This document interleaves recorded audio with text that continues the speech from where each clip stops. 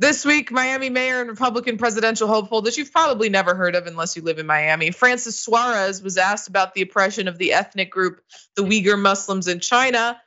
And this is how he responded.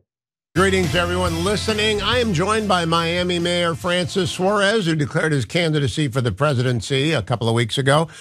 Penultimate question, Mayor. Will you be talking about the Uyghurs in your campaign? What, the what?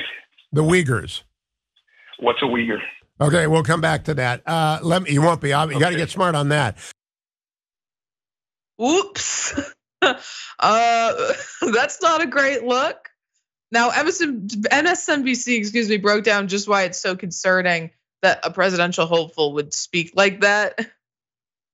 Vaughn, what's the significance of that exchange? A presidential candidate appearing to not know this Muslim minority population being targeted by Beijing it's, it's significant because this man is running for president of the United States and he's the mayor of a relatively small city. And yet he has made the case over the last week that he is running for national office and would be able to be the commander in chief and serve this country. We should note the Biden administration has suggested that China has engaged in genocide. Uh, there are one to two million Uyghurs inside of detainment camps, what you could also call re-education camps, in which this ethnic minority population population uh, is forced to renounce their religion. They are forced into uh, uh working conditions that, frankly, uh, the United States and allies have not had full access to wholly understand.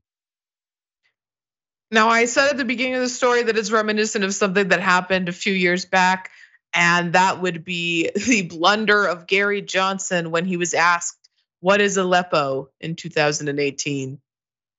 What would you do if you were elected about Aleppo? About Aleppo. And what is Aleppo? You're kidding. No. Aleppo is in Syria. It's the uh, it's the epicenter of the refugee crisis. Okay, got it. Got it. Okay. Well, with regard to Syria, um, I do think that it's a mess. Sorry. That's such a that's such an I don't know what the hell I'm talking about answer. Well, it's a mess over there, and when I'm president, we're gonna go and we're gonna clean things up. I'll say, Ben, I really think that he thought that Uyghur was a slur or something because the way he no, starts I'm, laughing. Yeah. I'm very I'm very happy for Suarez that he didn't say, well, you know, when white people adopt hip hop culture and act as though they're black, it's just not okay to do.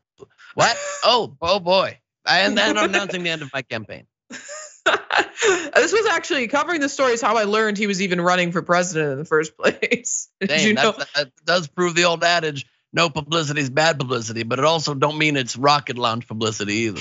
and to be fair, I think a lot of people first heard of who Gary Johnson was in the uh, in that election when he didn't know what Aleppo was. So apparently, being an idiot on on air is a good way to get some some momentum. Aleppo. Here's the thing with Aleppo: it's one of the top brands of dog food. uh, uh, Aleppo is they're really fast cats.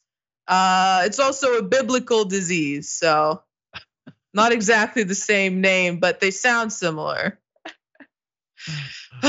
we God. are doomed. We're doomed. We're right. This is depressing. It's, it's very funny, but the state of affairs in our country is is sad. okay.